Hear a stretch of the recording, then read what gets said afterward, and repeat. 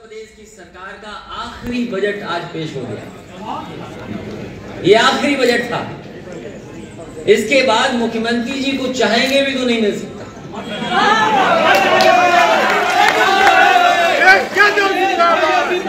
क्योंकि जो कुछ उन्होंने, जो कुछ सोचा था, जो कुछ उन्होंने जनता में फैलाया था, बताया था, अब उस सब का समाप्त हो गया, कुछ बचा नहीं उनके पास। और हम लोग हम और आप लोग यही तो कहते हैं। क्योंकि ये पांचवा बजट था इनका। अब कोई बजट नहीं आएगा। और जिस सरकार का पांचवा बजट आ गया हो तो हमें तो वही कहावत याद आ रही है पुरानी, जो आप सब जानते हो। खेल खत्म और पैसा हजम। ये बहुत पुरानी कहावत है। कि खेल खत्म? और कैसे हजम किया है भारतीय जनता पार्टी ने पैसा? अंबानी को दे दिया था।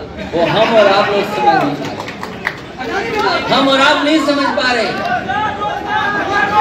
और जिस तरह के कानून लाए जा रहे हैं हमें तो उम्मीद थी और पूरे उत्तर प्रदेश की जनता को उम्मीद थी इस बात की कि ये जो बजट आएगा इसमें कहीं ना कहीं गरीब के लिए किसान के लिए राहत पहुंचेगी।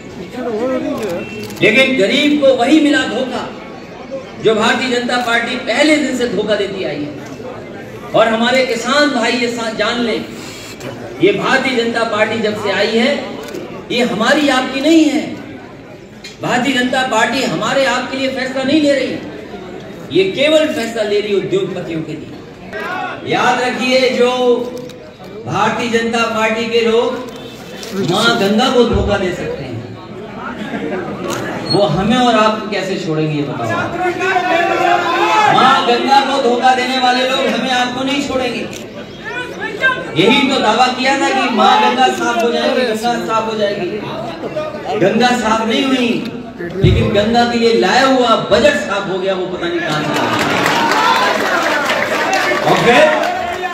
मैंने सुना है कि बहुत मकानों पे बुलडोजर चल रहे हैं। ये कौन सा कानून है? ये कहाँ का कानून है? ये कानून कहाँ का है? और यहाँ तो इलीगल हर चीज़ है। कौन सी चीज़ लीगल है, बताओ हमें और फिर अगर घर गिराना हो तो कोई कमी निकाल लो किसी की। ये ऐसी सरकार है, जो ना कानून की परवाह करती है, ना किसी नियम की परवाह करती है, ना किसी व्यवस्था की परवाह करती है। केवल ठोको नीति चलाती है, ठोको नीति के अलावा कोई नीति नहीं। इसलिए बहुत बड़े पैमाने पे हम लोगों के साथ धोखा हुआ है और जनता के साथ धोखा हुआ है जितनी भी संस्थाएँ थी, चाहे लोक सेवा आयोग हो, चाहे जितनी भी संवैधानिक व्यवस्थाएँ हो, या जितने भी अपॉइंटमेंट हो, यही तो आरोप हम पे और आप पे लगता था कि एक ही तरह के लोगों को सब अपॉइंटमेंट मिल जाता है हम उनसे जानना चाहते हैं, सरकार चार साल से चला रहे हो। चार साल से सरकार चला रहे हो। किसको मिलना है? ओबीसी सबको नहीं मिलेगा, क्योंकि सरकार आपकी नहीं है। नई सरकार बनाना चाहते और नई सरकार ऐसी जो विकास के रास्ते पर जाए, जो खुशहाली के रास्ते पर जाए, जो सभी लोगों को साथ लेकर के जाए, जो सबके लिए काम करे। और जो सबके लिए भरोसे की बात कहे, ऐसी सरकार चाहते हैं। और इतना भेदभाव हमारे साथी ने ठीक कहा कि निसार समाज के और मल्ला समाज के लोगों की नाव तोड़ गई। उसकी अगर किसी ने आवाज़ उठाई थी तो सबसे पहले समाजवादी पार्टी उनकी नाव नहीं तोड़ी थी। ये सरकार, बीजेपी ने उनकी नाव नहीं तोड़ी थी। उनके पेट पे रोजी रोटी पर को खत्म करने का काम किया था। और मुझे खुशी इस बात की कि समाजवादी पार्टी के नेता कार्यकर्ता सबसे पहले उनके बीच पहुँचे। और जो कुछ मदद कर सकते थे, की की उन्होंने मदद।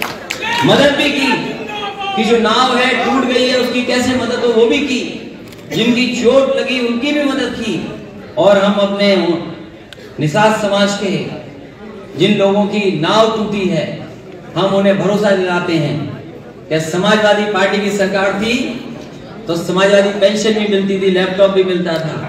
और एक बार हमें तांगा वाला मिल गया लखनऊ में, हमने उसके तांगा पुराना देखा। हमने तांगा दे दिया उसको नया, सरकार से।